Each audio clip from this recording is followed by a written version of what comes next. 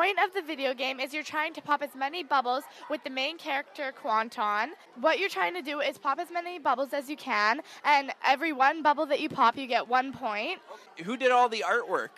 Um, myself, Haley did it. And then you guys actually coded it all? Yes, we did. With Now, now did you know how to code before? Not really.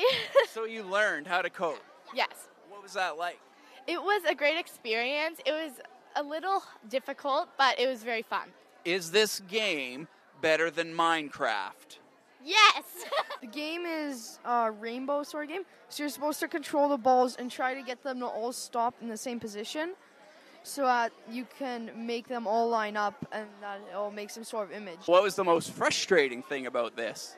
One half of it got deleted. Now, what was the coolest thing about this, making your own video game? Uh, getting to actually code it and getting to play the finished game.